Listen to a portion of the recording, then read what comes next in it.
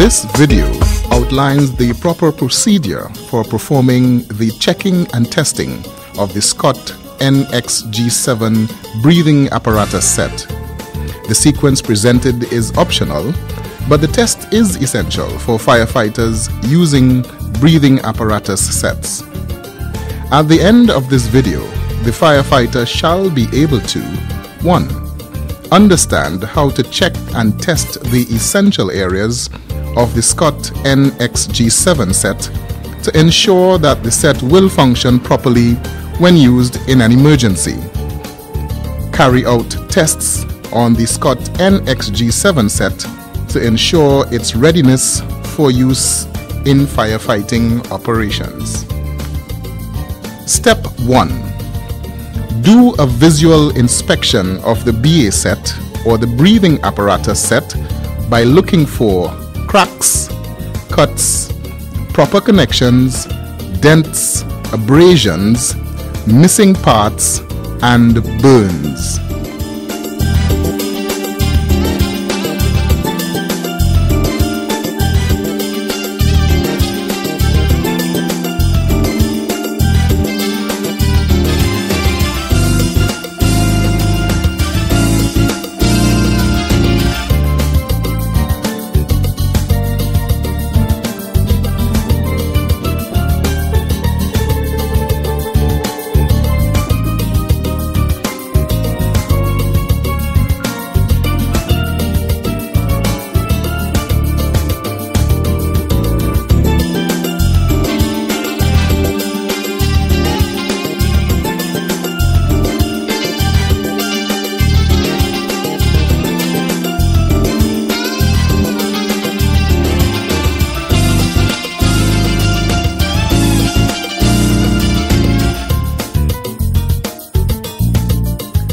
Step 2. Ensure the straps on the harness and face mask are fully extended.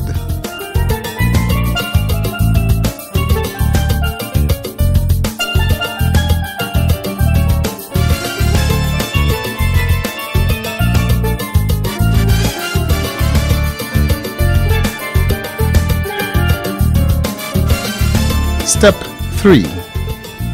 A. Depress the air saver or donning switch and B. Close the bypass valve.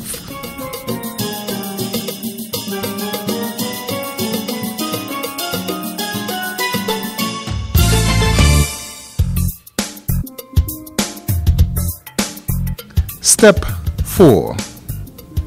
Do a preliminary battery test by depressing the yellow button on the control console once. Look for blue followed by green lights on the sensor module.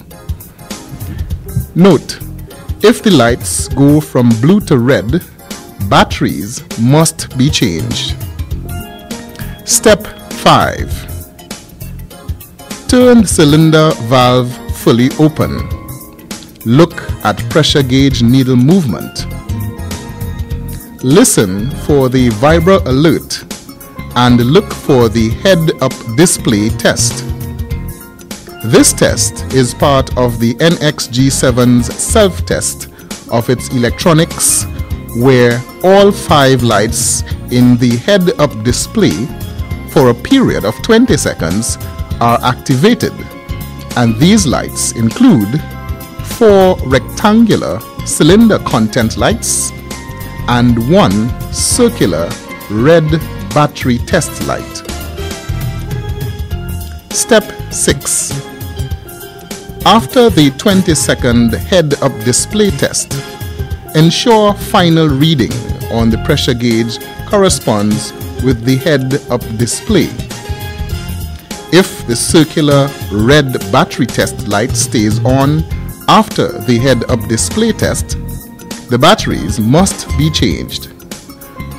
Record pressure from the pressure gauge on the control console, not the cylinder gauge. Step 7. Don the face mask and connect the regulator to the mask. Ensure that the locking clip snaps in place and inhale. Breathe at three different rates. 1. Normal 2. Fast and 3. Deep. Step 8. Place your fingers between the mask and face to check for positive pressure.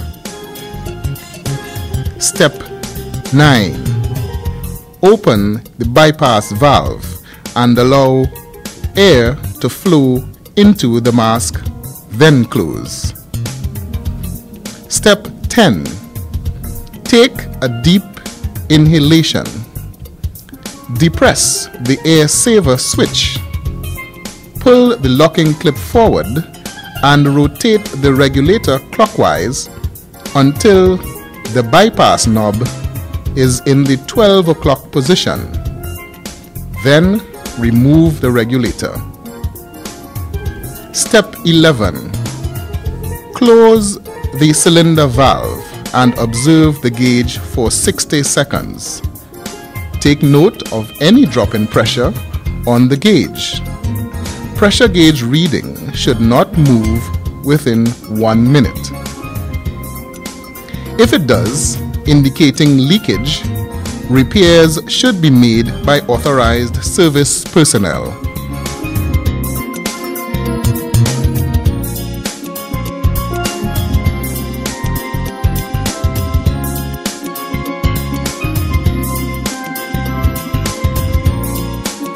Step 12. Slowly open the bypass valve to allow air to flow. Observe the gauge in conjunction with the head-up display to ensure they correspond. Two green lights indicates a full gauge reading. One green light indicates three-quarter gauge reading. One flashing yellow light indicates half gauge reading and one flashing red light with Vibralert sound indicates one quarter gauge reading.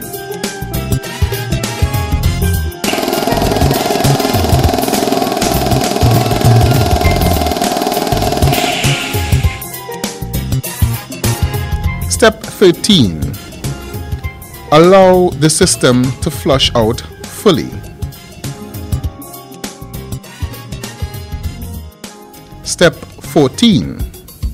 Conduct a vacuum test on the face mask by forming an airtight seal over the face mask and 2.